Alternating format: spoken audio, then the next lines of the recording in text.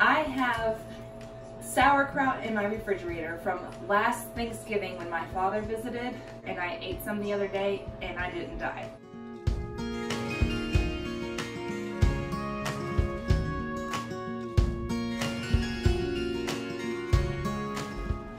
Okay, today we're gonna be making a lacto-fermented vegetable recipe that I absolutely love and the kids do too. It helps them get extra probiotics into their diet. It helps build their gut bacteria and it's pretty much the only way I can get them to eat vegetables. Um, so what I've done is I've added three tablespoons of pink Himalayan sea salt to a quart jar and I've added water and I've given it a shake to help it dissolve. This is gonna be our saltwater brine in our lacto fermenting process. We're gonna be using cauliflower, carrots, and red pepper. And you wanna make sure that you're using organic products when you make fermented foods. We're also gonna be using a bay leaf, a crushed clove of garlic, and I also have coriander seeds and black peppercorns that are gonna flavor our vegetables today. So without further ado, I'm gonna get to it. The first thing you have to do is wash your vegetables and peel your carrots. Lacto-fermenting vegetables is a great way to use up any produce. If you suspect that you're not going to use vegetables in a certain amount of time, you can lacto-ferment them. It simply is just a process which you add salt water to some vegetables and you let them sit for a week and they ferment. They stay crispy, they don't get soggy, they're nice and crisp. They're absolutely amazing. It just maintains the freshness of your products so that you and your family can have your garden fresh veggies year round. So if you if you happen to grow cabbage or carrots, cauliflower, anything like that, lacto ferment your peppers. You can make lacto fermented relishes, ketchup. There's so many different things that you can make. It's such a beautiful process and it really just preserves the nutrients, the beneficial bacteria that's on these vegetables. They go right into here and then you have an amazing probiotic rich snack or side dish or condiment to all of your meals. So I just have the cauliflower right now and I'm going to break it up into pieces. And for this recipe, you're gonna wanna use about one cup of each of the vegetables. So I'm gonna have one cup of carrots, one cup of cauliflower, and one cup of red peppers. But basically what I'm gonna do is whatever I can cram into this jar is what I'm gonna use. It's about a cup each. So I'm just gonna break the pieces off into edible sizes. Probably what I'll do is just, I'm gonna cut through the core and then I'm gonna break it open like that and it works really well. Then I can see the individual stems to cut them off and I'll probably slice up the core as well and include them into my ferment because the stem has a lot of nutrition in it as well. So I'm just gonna rinse these off real quick. Oops, I'm gonna finish slicing them up into bite-sized pieces. That makes it kid friendly so that the kids can just eat it easily and then also if you cut them up into sizes about like this they fit into the jar much better. I haven't actually made this recipe in quite a while. We ate through the last pit. I lacto fermented ginger carrots and garlic carrots and the kids loved all of that and it really helped their immune systems throughout six season. I'm to show you guys how I do peppers. I cut around the core of the pepper first. I cut the pepper in half. And then bam, look. The core just comes right out. Oh, this pepper smells amazing. It smells so good. You just want your pepper to be nice and crisp, so get rid of all the white stuff if you can. Then I'm just gonna slice them up into about one inch chunks. And make some kind of like chips. I have peeled my carrots I am able to slice them at an angle so that I get this chip type shape. Okay, so now we have all of our vegetables in this colander and I am going to add a teaspoon of coriander seeds. I'm almost out, so I'm just gonna go ahead and dump those in there. And then I'm gonna do about a teaspoon of peppercorns. Put those in there. I've got one bay leaf. And one to two cloves of garlic. You know most recipes don't ever call for enough garlic, so I like to add extra, but for this one, because last time the garlic was a little bit overpowering, I'm just gonna do one clove of garlic. You're gonna wanna start putting your vegetables in there. Or three tablespoons of salt into one quart of water. And I'm just gonna top my vegetables off with this. I need room for my glass weight. Then I'm gonna use my glass weight to hold everything down below the brine. I'm just gonna give it a gentle press to press everything down. I'm gonna put my lid on. You know what, I think I'm gonna do a whole nother jar that I'll be able to split up for my friends.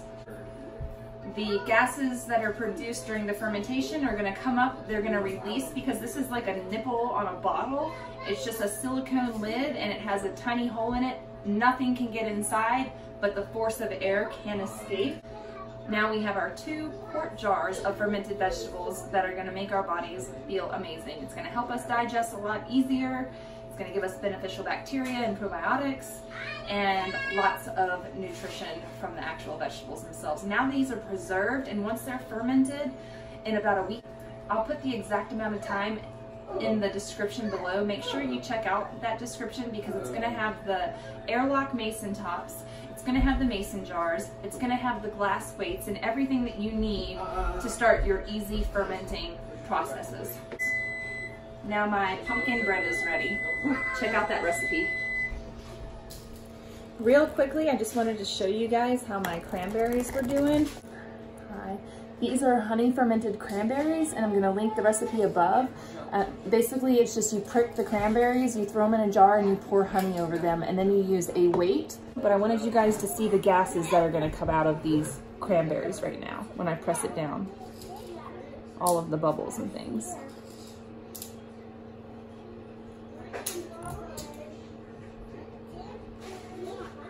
See how fun? It's really, really cool. This came with our juicer, but um, I like to use it when I ferment because it's an amazing packer. So then I just go in here and I fish out the glass weight. I grab it and then I just place it back on top of all of the cranberries that I have pressed down. So that helps keep all of the cranberries submerged in the honey. I'm about four days into this ferment. And these cranberries are gonna be going until Thanksgiving. I'm going to use an immersion blender and make like a cranberry sauce. And I know that this is excessive. We're also gonna use this cranberry sauce for Christmas. Then I'll transfer it to my refrigerator with this plastic lid.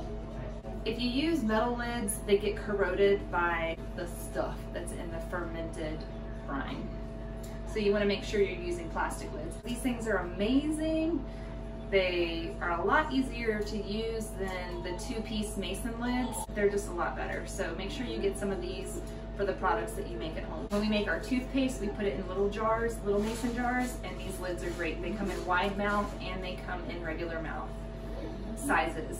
So for toothpaste, for the deodorant that we make, and I will be making a video soon showing you guys our method for making those products. They both work fabulous, so stay tuned for that information.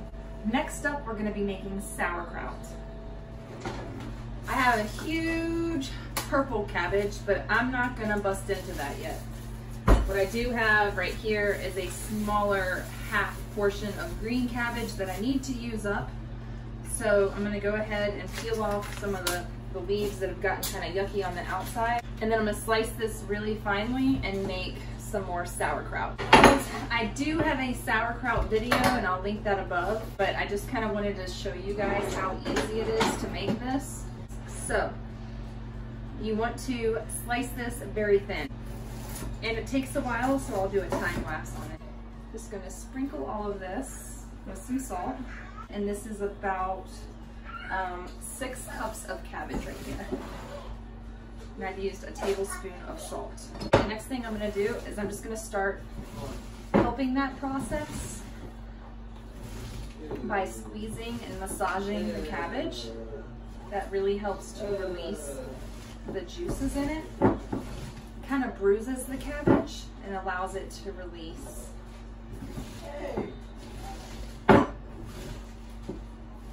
It's already starting to become wet. So I know that it the salt is doing the job to extract the cabbage. It's gonna make an amazing brine. Now, what brine the cabbage does not make for itself in the sauerkraut recipe, I will make a brine. I have a tiny bit left over from my last ferment. So I'm just gonna let this sit for about a half hour. We have let the cabbage sit for about 30 minutes. With clean hands, we're just gonna take the cabbage and start packing it into our jar. Okay, then you wanna use something. You wanna pound down the cabbage so that there's no air left in the jar. If your cabbage has not produced enough brine to submerge itself, here I have some leftover saltwater brine from my last ferment that I made just a few minutes ago. And then you can put your glass weight to keep all the cabbage submerged.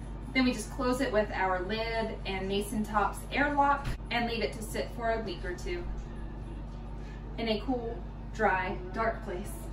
I'll be moving all of that stuff to my cabinet in just a little bit once I get the kitchen cleaned up, space cleared in my fermenting cabinet. Thank you guys so much for joining me today, for watching through these recipes.